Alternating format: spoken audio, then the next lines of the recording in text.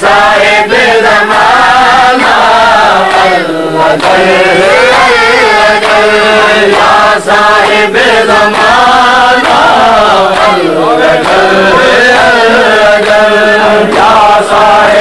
زمانہ۔